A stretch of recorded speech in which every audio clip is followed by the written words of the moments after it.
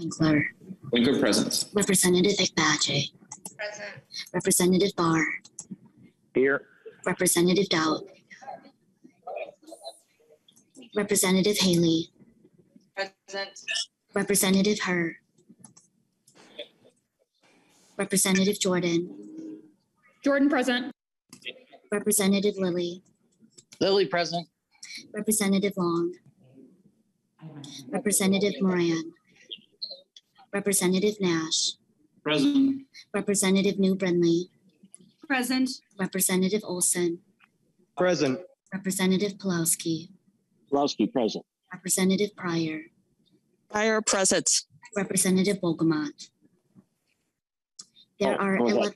ele- Wolgamott present. there are 12 present. members, I'm There are- sorry.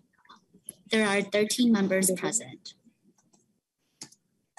Thank you, Ms. Bang. It's on. Moran is present. The the minutes will reflect that Moran is present. First item on the agenda is approval of the minutes for April 26, 2022.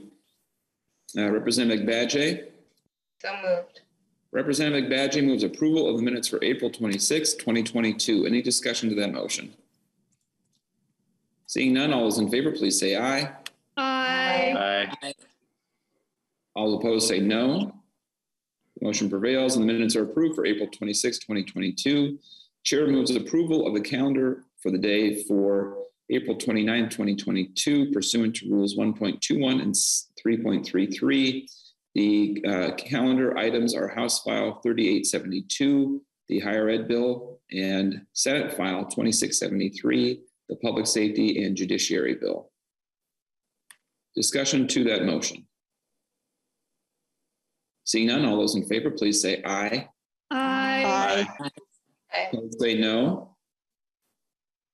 The motion prevails, and the calendar for April 29, 2022 is adopted pursuant to rules 1.21 and 3.33.